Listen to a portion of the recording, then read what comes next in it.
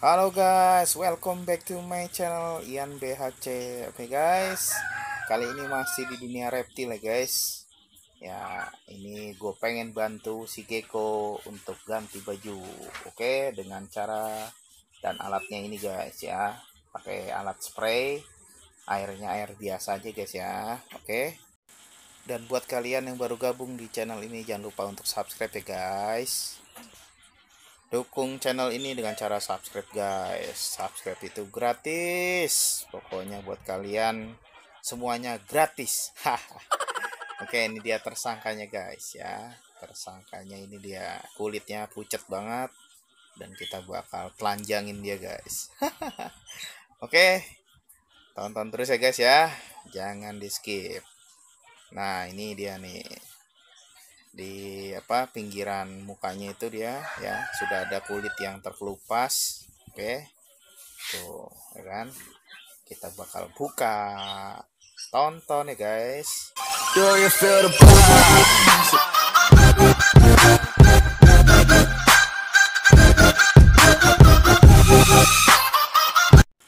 Ya guys pertama-tama gue bakal semprot dulu ya semua sampai rata ya. Gue semprot-semprot dulu gekonya supaya uh, airnya tuh menyerap dulu ke kulit matinya guys ya. Jadi uh, kita gampang untuk nyopotin kulitnya guys ya.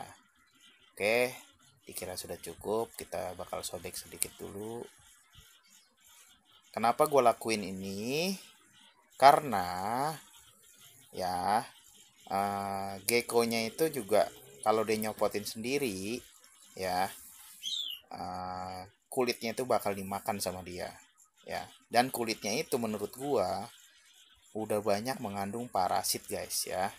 Dan nggak ada manfaatnya buat dia ya. Kenapa nggak ada manfaatnya? Ya karena itu kulit mati ya. Kulit mati itu ya kayak ibarat kata tuh di kulit lo ya kan? Di kaki ya ada yang suka ngelotok atau apa gitu kan di tangan nah itu kan nggak mungkin itu juga kulit yang udah ibarat kata emang harus ganti gitu loh ya itu udah nggak ada vitaminnya lah ini gekonya nggak bisa diem guys dia Iya, ini memang gekonya juga sih modelnya dia agak agak gesit gitu guys ya. Karena memang jarang gue pegang. Pertama, tadinya juga nih gecko ya.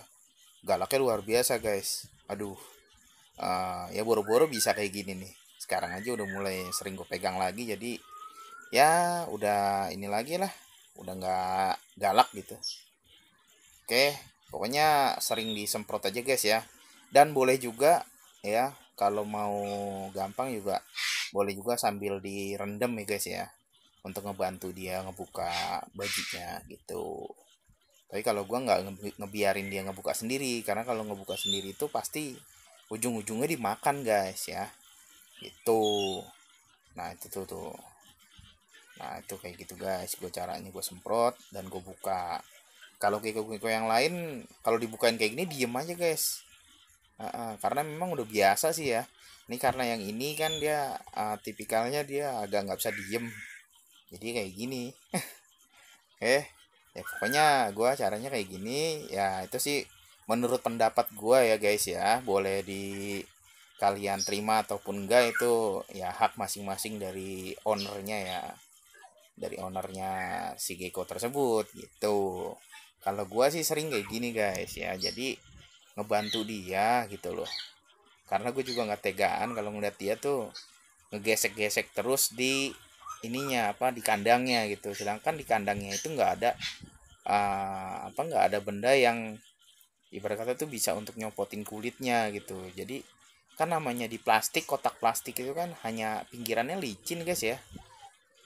Kalau beda dengan di alamnya. Kalau di alamnya mungkin dia ada batu atau ada apa gitu kan jadi gampang untuk nyopotin kulitnya dengan cara digesek ke batu tersebut gitu. Ya jadi kalau gue sih ya gue bantuin kayak gini gitu guys. Itu boleh uh, diikutin atau enggak terserah. Tapi memang ada juga uh, karena ada juga di gecko yang memang dia kesulitan untuk ngebuka ya ngebuka kulitnya sendiri gitu ya. Jadi akibatnya kalau memangnya ini nanti gagal shading dan itu juga kering ya guys kulitnya jadi kering lagi di tubuhnya dia dan bisa mengakibatkan kematian gitu. Makanya gue selalu kalau ngeliat di kandang gue gecko gue yang mau ganti kulit ya dia udah mulai uh, gesek-gesek di kandangnya dan udah ada mulai ada yang rontok pasti langsung gue bantuin. Itu. Tapi kalau memang nggak kelihatan dalam artian di pandangan gue tuh gue lagi ngecek nggak ada ataupun gue lagi pergi dan memang lagi ada yang ganti kulit ya otomatis diganti kulit sendiri. Gitu aja itu yang tanpa pengetahuan gue gitu guys. Oke tuh gampang kan ngeletekinnya dan kalau kata orang sakitnya tuh gekonya ya gue kurang tahu juga sih tapi menurut gue sih nggak ada sakitnya ya. Kalau kita dengan apa dalam artian tuh nyopotinnya dengan cara yang pelan-pelan terus juga kita kita basahin dulu ya. Jadi kulitnya itu dia udah mulai mungkin lunak ya kalau dibilang tuh lunak gitu loh. Dan jadi kan tergantung juga kita nyopotinnya itu gimana. Nah, kalau nyopotinnya langsung main betot aja ya mungkin sakit gitu guys. Oke. Uh, ya pokoknya dilihat aja guys ya. Ini cara gua. Boleh diambil sisi positifnya ya. Mungkin kalau ada yang negatifnya jangan lupa pakai gitu aja guys. Oke. Okay? uh, gue bakal mungkin gue bakal cut uh, sedikit ya. Videonya karena durasinya terlalu panjang. Intinya sih nyopot ini kayak gini guys ya. Oke. Kita lanjut lagi ke tahap yang kedua ya untuk bersihin di bagian kaki-kakinya. Ya oke okay guys ini dia. Ya gue sediain tupperware ya atau tempat lah. Terus plastik itu tempat. Nah ini dulu gue kasih air yang kira-kira hanya menggenangi bagian kakinya saja ya guys ya kalau gekonya ditaruh. Gitu. Ini geko nggak bisa diem banget sih. Aduh. Nah, tuh gue taruh tuh guys gekonya dan gekonya hanya kakinya aja yang kerendam ya guys ya. Tuh dia gekonya lucu banget ya. Oke, ini dia gekonya dan biarkan dulu sampai air itu mungkin meresap ya guys ya ke uh, kakinya ya. Tuh kan tinggal kakinya aja tuh guys, yang lain udah pada copot semua kulitnya. Nah, tinggal kakinya aja sebenarnya sih gampang ya kalau yang gekonya memang modelannya gampang dicopotin dia sampai ke kakinya juga dia pasrah aja diem aja gitu guys. Nggak perlu sampai tahap dua kayak gini. Tapi kalau memang uh, sampai kesulitan dan di bagian kakinya masih kesisa kulit ya kulit matinya ya cara inilah yang paling gampang. Direndam dulu kayak gitu baru kita akalin lagi di bagian sela-sela kakinya. Kita copotin pelan-pelan. Nah gitu guys. Dan itu kulitnya bakal uh, lebih mudah untuk dicopot ya karena uh, posisinya dia udah kerendam air gitu guys. Oke? Caranya kayak gini guys. Oke? Ya yang penting kitanya sabar ya. Terus jangan buru-buru. Kasihan dia juga gitu. Yang penting pelan-pelan aja. Uh, dan dianya juga nyaman gitu. Kita cari posisi nyamannya dia gitu. Jangan sampai kita sampai paksa ya nyopotinnya itu aja. Kalau saran-saran dari gua ya dan menurut menurut gua gitu loh. Karena yang kemarin-kemarin juga ada yang shading dan gua copotin juga sih. Selalu kayak gitu. Tuh guys. Nah ini udah selesai gua rendam langsung gua copot-copotin guys. Oke. Tuh sampai dia diem dulu baru kita copotin pelan-pelan ya jangan sampai ada yang kesisa di kakinya. Kira-kira masih keras ya jangan dipaksain gitu. Nah ini kan masih agak susah pelan-pelan dulu tariknya. Ini gekonya agak-agak males sih ya. Oh, kalau yang geko yang gampang dia uh, apa ditarik kayak gitu kadang dia narik sendiri gitu loh. Dianya juga pengen narik kakinya gitu. Kalau ini diem aja.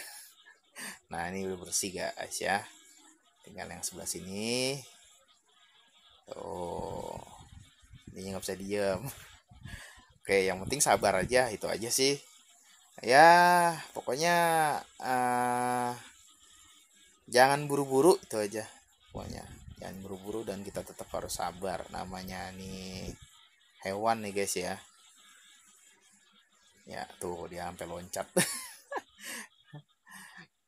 Aduh tapi sih ya setahu gue ya gue ngelakuin kayak gini juga ya aman-aman aja guys. Aman karena geko-geko gue setelah gue copotin kayak gini juga nafsu makannya juga tetap aja rakus ya. Bagus gitu loh makannya maruk ya. Terus juga ya alhamdulillah fan fan aja sehat-sehat aja gitu guys. Nggak nggak sakit atau apa gitu. Ya jangan sampai peliharaan kita sakit itu kan intinya ya kalau dia makan kulitnya itu juga kan kalau gue sih namanya di kandang itu kan kandangnya dia ya walaupun ada uh, pasirnya ya kan dolomitnya itu. Tapi kan kita nggak tahu kebersihannya ya kan. Sedangkan kan kotoran itu selalu ada gitu loh guys. Itu aja kalau menurut gua ya. Oke gua bakal cepetin lagi. Mungkin kita lihat hasilnya guys ya. Ya ini kaki terakhirnya guys. Oke copot dan bersih Iya, dikit lagi. Oke. Sip, copot juga kau. Dan bersihin sedikit lagi. Iya. Dan ini dia guys, hasilnya. Oke.